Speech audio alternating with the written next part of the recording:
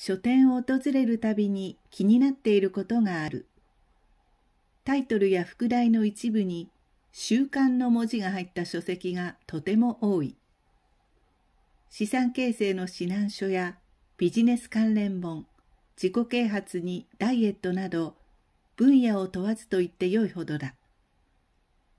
アメリカ・スタンフォード大心理学部のラッセル・ポルドラック教授は、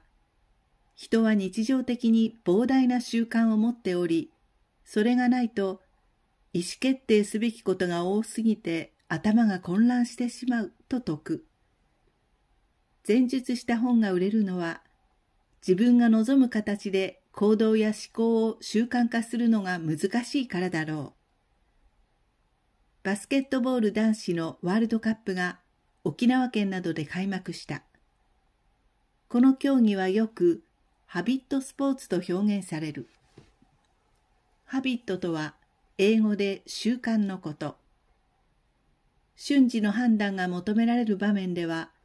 反復練習で身につけた個々の基本動作や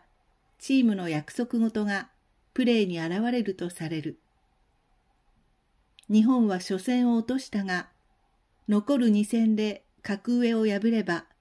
国内のバスケ熱は高まるに違いない。それが10月開幕の B リーグにも波及すれば理想的だ。我らがパスラボ山形ワイバンズは